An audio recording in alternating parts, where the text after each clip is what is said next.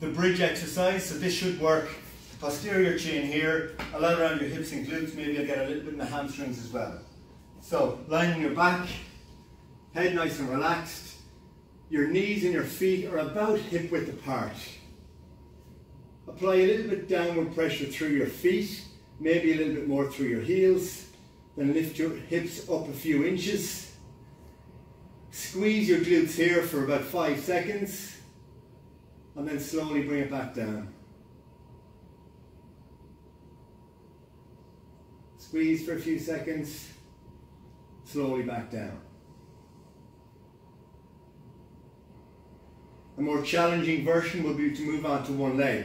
Everything will be the exact same, except, say I'll do it this side, lift one knee up here, up and down, up and down, keeping your pelvis relatively level, all the work comes through that side.